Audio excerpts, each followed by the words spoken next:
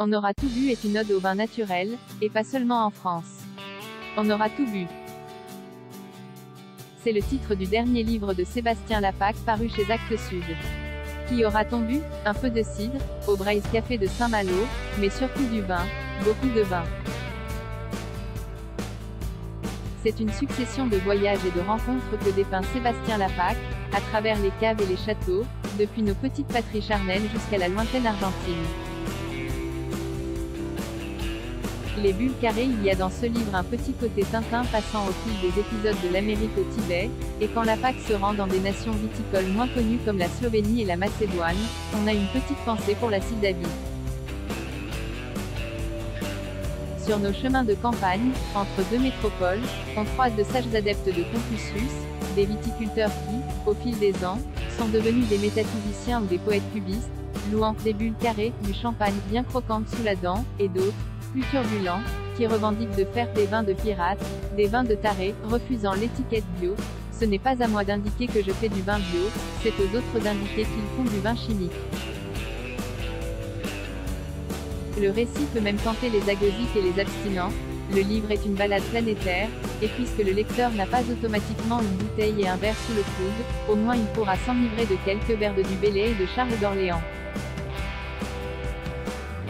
Le livre flatte le génie de quelques sœurs latines, comme l'Uruguay Petite Patrie, Grande Littérature, Ciel Pur, âme généreuse, Grand Football, Cœur aventureux, Grand Vin, et le Portugal, il est question à un endroit du singulier génie lusitanien. Au Pays Basque, l'évocation du Tchakoli et des cépages qui lui sont associés Fondaribit Suri, Fondaribit Surizeracia, Iskiriota, fait saliver les joueurs de Scrabble.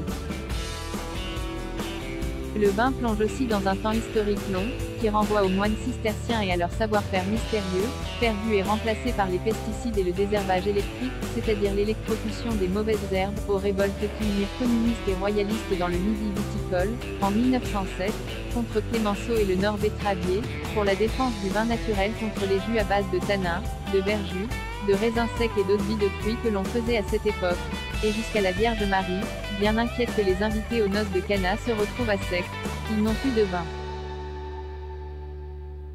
On pourrait qualifier ce livre d'écolo archaïque, il faut s'imaginer un mélange de Gustave Thibon et de Sandrine Rousseau, quand la PAC évoque les savoir-faire d'autrefois, et vante même l'équilibre qui existait dans la France d'antan entre abstinence, bombance et temps ordinaires, quand un tiers des jours était chômé, et alcoolisé, un autre tiers carême, avant, au pain sec et à l'eau et le reste dédié à la piquette convenable et au tout blanc.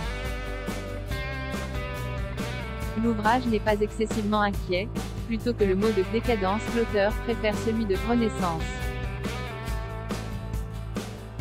Il y a quand même des passages moins rassurants que d'autres. Comme dans Tintin en Amérique, quand le petit Belge découvre les vaches entrant vivantes dans la machine et qui en ressortent en saucisse ou en hamburger, la PAC nous montre les arrières-cuisines pas toujours ragoûtantes du vin. Attention au Roundup. Il relate une dégustation de pesticides dilués dans de l'eau aux doses où l'on peut les retrouver dans le vin, au nez. Le Roundup de chez Monsanto est caractérisé par les arômes de bois putréfié et d'essence qu'il produit. En bouche, il provoque un assèchement, des brûlures, des picotements, de l'amertume, des sensations de lourdeur avec des impuretés. Quant à la palette de l'iPodrion, eau de javel, vieux plastique, pneus brûlés. Certains produits parviennent à obtenir le label européen vin biologique malgré la présence de bactéries lactiques, d'acide citrique, de colle de poisson, de résine de pain, de charbon actif. Face à ce petit maillage de viticulteurs consciencieux, l'industrie lourde a l'air de faire les gros yeux. La PAC cite ainsi Marcel Lapierre, viticulteur décédé en 2010. Les grosses firmes agroalimentaires veulent voir disparaître les gens qui produisent du poulet, du fromage ou du vin de qualité, ce n'est pas pour les 3% que cela représente sur un marché de l'alimentation qu'elle contrôle entièrement. C'est pour effacer la mémoire du goût. La guerre chimique contre l'esprit qu'avait évoqué Philippe Muret dans Désaccord parfait se prolonge donc dans la guerre non moins chimique contre le goût. Sébastien Lapac, On aura tout bu, Acte Sud, 2022, 352 pages, 22 euros et 80 centimes. On aura tout bu Price, 22 euros et 80 centimes 14 du et New Available from 13 euros et 98 centimes ce monde est tellement beau Price, 22,80€ 31 UCED et New Available from 6,72€ Théorie de la bulle carré price 12,50€ 25 UCED et New Available from 7,49€.